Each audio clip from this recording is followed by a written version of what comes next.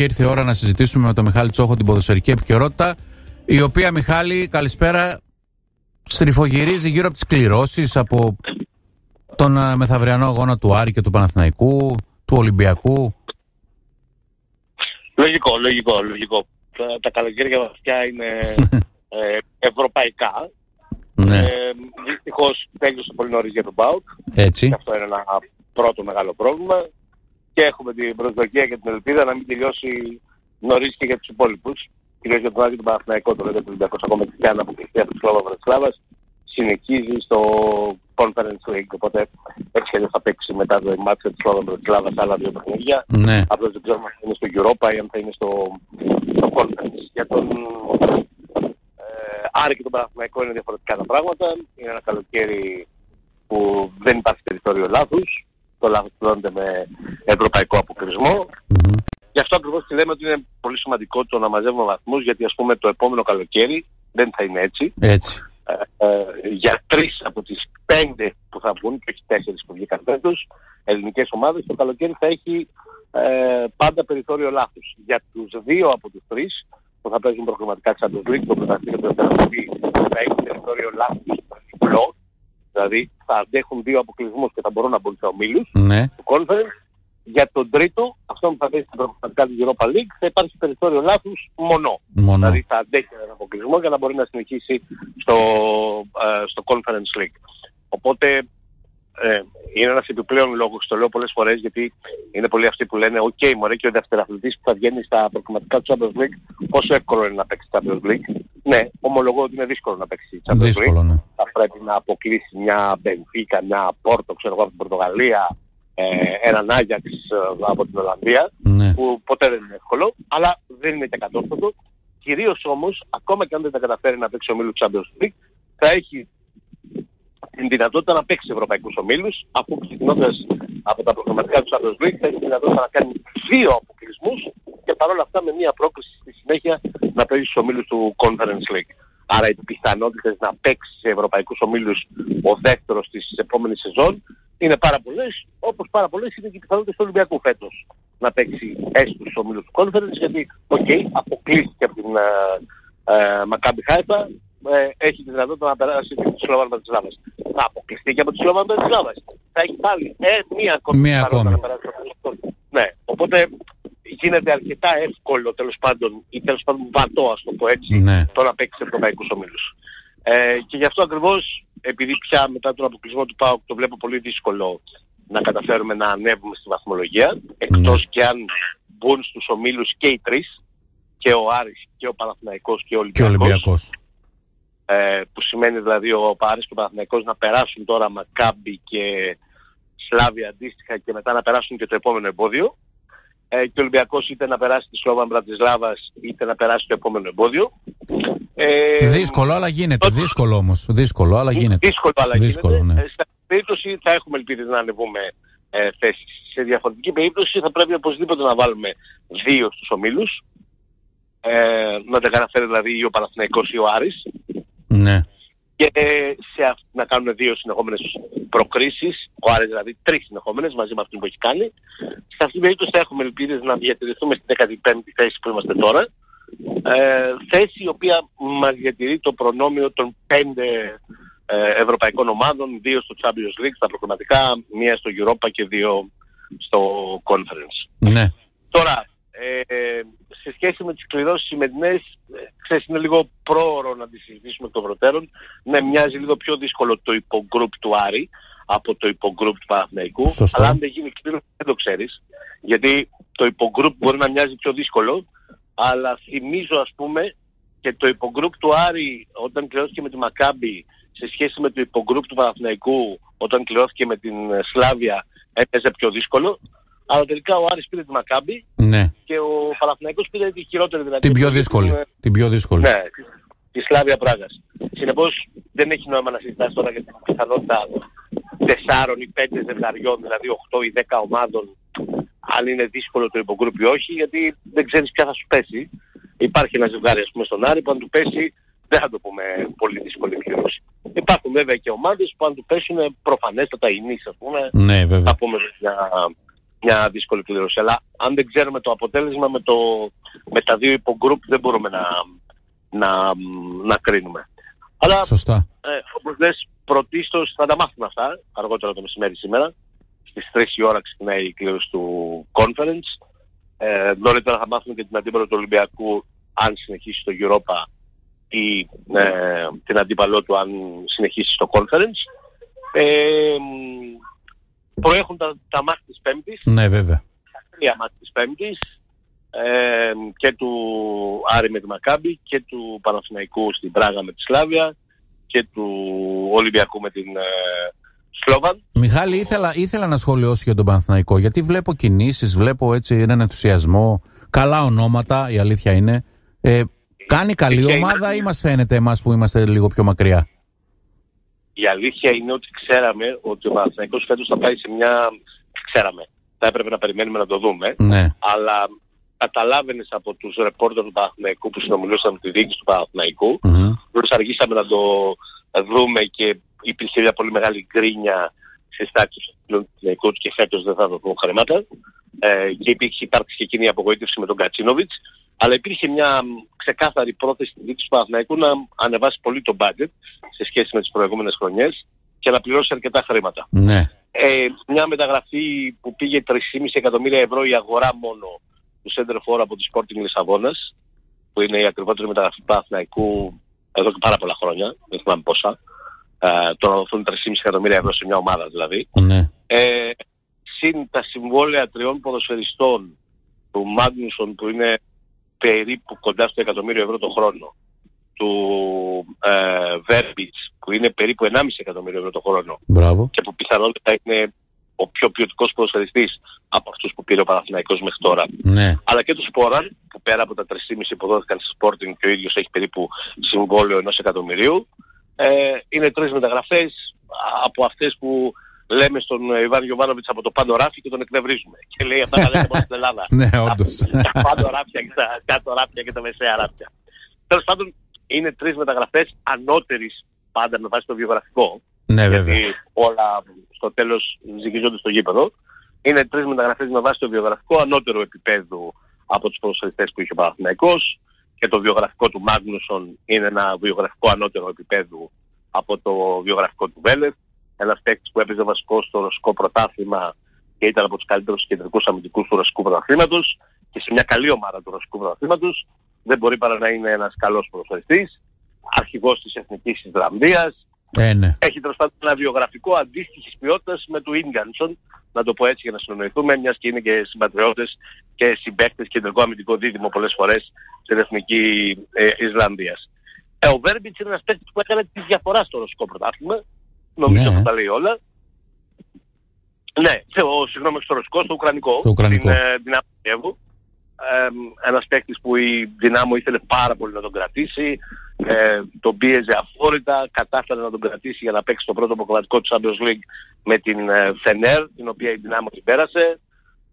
Ένας παίκτης που κάνει τη διαφορά στην δυνάμω Κιέβου, καταλαβαίνουμε όλοι ότι ε, είναι μια πάρα πολύ καλή μεταγραφή. Ξαναλέω, προφανώς θα τον δούμε στο γήπεδο, ε, ναι. αλλά είναι μια πάρα πολύ καλή μεταγραφή. Αν σκεφτεί μάλιστα κανείς ότι ο Παναθηναϊκός αυτόν εδώ τον παίρνει ως μία από τις επιλογές του στα εξτρέμ, θα μου πεις δεν θα είναι βασικός, θα σου πω ότι βασική πέρυσι ήταν ο Παλάσιος και ο Αϊτόρ, οι οποίοι ήταν οι δύο καλύτεροι ποδοσφαιριστές του. Οπότε δεν είναι ότι ε, έρχεται για να μεγαλώσει πολύ την ποιότητα του ρόστερ. Είτε παίξει αυτός βασικός και γίνει αναπληρωματικός ο Αϊτόρ, είτε παίξει αυτός και γίνει αναπληρωματικός ο Παλάσιος, για τον Παναθηναϊκό είναι ξεκάθαρο ένα, μια αναβάθμιση ε, του ρόστερ χωρίς δεύτερη κουβέντα. Ναι, βέβαια. Ο Σπόρα είναι ένα center for ε, που ε, εγώ τον είχα δει από κοντά σε ένα Σλόβαν Μπρατισλάβας ΠΑΟΚ ε, τη χρονιά που ο ΠΑΟΚ αποκλείστηκε από τους Σλόβαν Μπρατισλάβας και δεν έπαιξε ο Μίλους ναι. ε, Ευρώπα. Ε, εκείνο το καλοκαίρι που είχε κάνει τη φοβερή προσπάθεια ε, στο Champions League, τα προγραμματικά του Champions League και γνώρισε εκείνον τον οδυνηρό με τα απέναντι αποκλεισμό από τον Άγιαξ και αμέσως μετά απογοητευμένος πολύ πήγε να παίξει εκείνο το ζευγάρωμα με την Σλόβαν και αποκλείστηκε με τον κανονισμό του εκτός έδρας γκολ που ακόμα τότε ίσχυε. Ναι. Ε, ήταν σέντερφόρ της Σλόβαν Μπρατισλάβας τότε ο Σπόραν. Ήταν η ακριβή της μεταγραφή, τον είχε πάρει από τη Σλοβενία. Και στη Σλόβαν έκανε πάρα πολύ πράγματα ο Σπόραν. και τον πήρε η Sporting Λισαβόνας. Εκεί δεν έθελεξε, αλλά αντιλαμβάνεται κανείς ότι το, το επίπεδο της Sporting Λισαβόνας, ειδικά πέρυσι και πρόπερσι που κατέκτησε το πρωτάθλημα Πορτογαλίας πρόπερσι, ήταν πάρα πολύ υψηλό. Δηλαδή α, έχει ποδοσφαιριστές 40 και 50 εκατομμυρίων ευρώ. Πούλησε όπως ο Μπρουνο Φερνάντες ε, στην Manchester United ή το αριστερό του μπακ που πήγε στην Paris Saint-Germain με 40 εκατομμύρια ευρώ. Αυτού του επίπεδου τους ποδοσφαιριστές έχει. Οπότε το ότι ο Σπόραν ήταν ένα πληρωματικό σεντερφόρ της Sporting Λισαβόνας ε, ως ένα βαθμό είναι και λογικό. Ε, το ότι κόστησε τόσα χρήματα δείχνει πόσο πολύ τον εκτιμούσαν στην uh, Sporting Λισαβόνας. Δεν τον έδωσαν δανεικό για να ξεφορτωθούν το συμβόλαιό του. Σωστά. Ε, ήταν σε μια, σε μια πολύ καλή πρόταση, 3,5 εκατομμυρίων ευρώ. Ε, πάνω κάτω όσα χρήματα δηλαδή είχαν δαπανίσει για να τον αποκτήσουν. Οπότε καταλαβαίνει κανείς ότι ναι, η ενίσχυση του Παναθηναϊκού είναι πολύ σημαντική. Βεβαίως τους, τρεις, τους δύο από αυτούς τους τρεις στο μάτσο με την Σλόβαν, με την Σλάβια δεν θα τους έχει. Ναι, θα τους έχει τον πάγκο από την φορά. Το Βέρμπιτς νομίζω δεν θα τον έχει, δεν ξέρω αν θα τον έχει κάνει στον πάγκο. Ο Γιωβάνης είναι πάρα γιατί εγώ δεν παίρνω ποδοσφαιριστή για ένα μάτσο ή για δύο μάτς. Ε, οι ποδοσφαιριστές που πρέπει να παίρνουμε στον Παναθηναϊκό από εδώ και στο εξής, αν θέλουμε να τον επαναφέρουμε στα επίπεδα του πρωταθλητισμού, πρέπει να είναι πολύ σπουδαίοι προπονητές, προποδοσφαιριστές. Προτιμώ να αργήσω, ακόμα και με ρίσκο να αποκλειστώ από την Ευρώπη, παρά να κάνω βιαστικές μεταγραφές για τις οποίες δεν έχω, πώς να το πω, την βεβαιότητα, όση βεβαιότητα μπορείς να έχεις μεταγραφές, ότι είναι καλύτεροι ποδοσφαιριστές από αυτούς που ήδη έχουν. Οι τρεις μεταγραφές που έχει κάνει, οι πρωτοκλασσάτες, γιατί έχει κάνει και συμπληρωματικές μεταγραφές. Ναι, βέβαια. Όλο, όλο Ντίκιν που είναι ο αναπληρωματικός του τερματοφύλακας και είναι μια πολύ ωραία επιλογή για αναπληρωματικό τερματοφύλακας. Mm. Ο Γκάνια που είναι το αριστερό του μπακ για αναπληρωματικός είναι μια ωραία επιλογή για αναπληρωματικός. Ε, αυτές ήταν οι πρώτες μεταγραφές που έκανε και ήταν ε, κυρίως συμπληρωματικές. Οι βασικές μεταγραφές που έρχονται πια τώρα, ο Μάγνουσον, ο Σπόραρ και ο Βέρμπιτς, είναι πολύ υψηλό επίπεδο. Το έξτρα. Ναι. Συν το γεγονός ότι κάνει και επενδύσεις σε ταλαντούχους ποδοσφαιριστές. Τέτοια είναι ο Τσέριν, για τον οποίο έδωσε περίπου ένα εκατομμύριο, 800.000 ευρώ, ένα παιδί στα 22 του που ξεχώρισε στο κρατικό πρωτάθλημα και που ε, τον πήρε γιατί πιστεύει πολύ στην, στην εξέλιξή του και δεν αποκλείεται να γίνει και βασικός τουλάχιστον τώρα στην αρχή της σεζόν. Ναι. Παθηνακός ότι θα κάνει άλλες τουλάχιστον δύο μεταγραφές, ένα βασικό δεκάρι και έναν ακόμη εξτρέμ και βλέπουμε αν Ο... θα χρειαστεί ακόμα. Όλοι δεκάρι Αλλά ψάχνουν είναι... τελικά. Ναι, ναι, όλοι δεκάρι ψάχνουν. Ε, με εξαίρεση την ΑΕΚ, εντάξει, ο τον Άρη τον βρήκε, στο πρόσωπο του Μανού Γκαρτία που ναι. έφτιαχνε. Ναι. Ο ΠΑΟΚ, ο Παναθηναϊκός και ο Ολυμπιακός ε, ψάχνουν δεκάρι. Έτσι είναι. Και είναι μια θέση δύσκολη βεβαίως, απαιτητική. Ε, Αλήθεια είναι. Που, και η οποία, η οποία προφανώς και θα κοστίζει πολλά. Τώρα μια που είπες ε, πάω και Άρης, ο Άρης έχει το παιχνίδι με τη Μακάμπη. Ε, επικεντρωνόμαστε σε αυτό σιγά σιγά. Αύριο η ομάδα φεύγει για το, για το Ισραήλ. Μιλήσαμε πριν με τον Νίκο Παπαδόπουλο για κάποια πλάνα έτσι. Μας είπε ίσως κάποιες σκέψεις του, του Μπούργος. Πώς το προσεγγίζεις εσύ το παιχνίδι, είναι, είπαμε και χθες το είπαμε βεβαίω, ότι, είναι, ότι είναι δύσκολο το μάτι. Έχει πολύ ενδιαφέρον. Έχει πολύ ενδιαφέρον. Ε, μπορείς να μου πεις εντάχει ε, εντεκάδα που εκτιμά ο Νίκος ότι θα είναι η αυριανή. Καταρχάς φαντάζομαι 4-4-2, δεν αλλάζει αυτό. Ναι, μόνο θυμάμαι τους μπροστά, Γκρέι, Μαντσίνη, η Τούρμπε, ε, που είπε για... Πάλμα. Και πιθανόν και πάλμα, πιθανόν και πάλμα, είπε ο Νίκος. Τώρα θα, ναι. δούμε, θα δούμε πώς θα εξελιχθεί η σημερινή προπόνηση και πιθανόν η αυριανή. Ναι. Και ίσως... Ε, Εντάξει, μα... ναι, γιατί φαντάζομαι, φαντάζομαι το πίσω είναι δεδομένο, δηλαδή με τον ε, Πίρσμαν στον άκρο της άμυνας, ο, ο, ο Ντουμπάτζο στο άλλο, Μπράμπετς και Φαμπιάνο κεντρικό αμυντικό δίδυμο. Αυτή η τετράδα νομίζω της άμυνας έχει κουμπώσει, με τον Κουέστα προφανώς στον οδοφύλακα. Ναι. ναι. Και το ερώτημα δύο κεντρική χαφ, δηλαδή αν θα πάμε πάλι σε Ντουκουρέ Νταμπό, Νταμπό. ή αν ο Διόπ, Ντουκουρέ Νταμπό. Ναι. Δεν, δεν θεωρείται ακόμα έτοιμος ο Διόπ. Ναι. Ε, OK. Okay. Άρα η, η κλασική δεκάδα, αυτή που επί της ουσίας σε μεγάλο βαθμό είδαμε και στα δύο παιχνίδια με την, με την ε, Γκόμελ. Απλώς θέλω να ξέρω αν υπάρχει σκέψη για αλλαγή διάταξης με δεδομένη την έλευση του Μαρού Γκαρθία, τον οποίο είδα δήλωσε, σε αντίθεση με τον. ε, Τον Ζερβίνιο. δήλωσε, τον δήλωσε και πάει καλά λέει στις προπονήσεις, αλλά δεν νομίζω να τον βάλει τώρα από την αρχή. Α, είναι, ναι, είναι, πολύ- είναι πολύ δύσκολο και εγώ δεν το περίμενα να, να παίξει βασικός και να αλλάξει το σύστημα σε 4-2-3-1 με έναν center for ε, μόνο τον Gray δεν και πιστεύω να πάρει κι ο- εγώ. Δεν νομίζω. Ναι. ναι. Δεν νομίζω. Ε, κοίτα να δεις, είναι- δεν έχω την εκτίμηση ότι το πρώτο μάτι είναι πολύ κρίσιμο. Νομίζω ότι θα είναι μια ανοιχτή πρόκριση Μμμ. η οποία μ, ε, μ, πολύ δύσκολα μου, μου φαίνεται να πάρει κάποιος πολύ μεγάλο προβάδισμα πρόκρισης.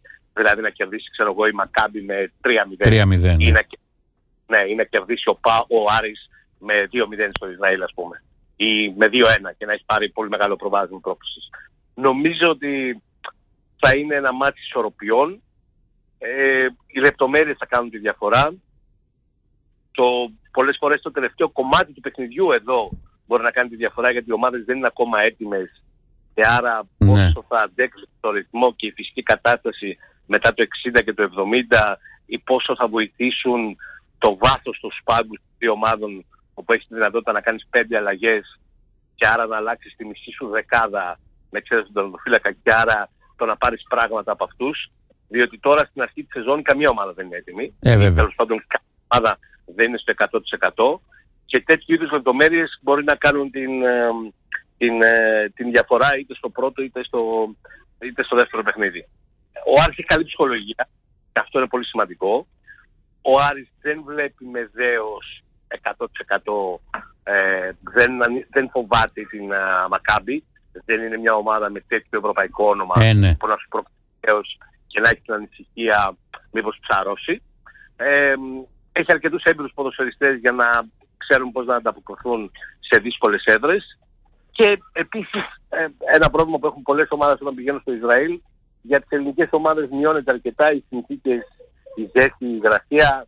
Ε, πάνω κάτω τις δούμε και στην ε, Ελλάδα. Δεν είναι ότι ε, θα πάνε εκεί και θα πούνε Παναγιά μου βόηθα που ήρθαμε όπως θα το έλεγε ξέρω εγώ μια Νορβηγική, μια Σουηδική, μια Ρώσικη, μια δεν ξέρω εγώ τι ομάδα.